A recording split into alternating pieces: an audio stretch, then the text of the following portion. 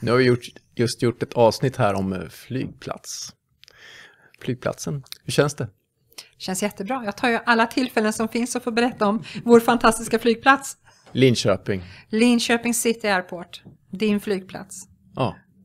Och eh, gå in och lyssna på två avsnitt om det här. Och få en himla massa inspiration och tips. Och kanske få veta ett och annat som du inte visste Ja. om eh, vad man gör på en flygplats. Och vad som man kan utnyttja flygplatsen till.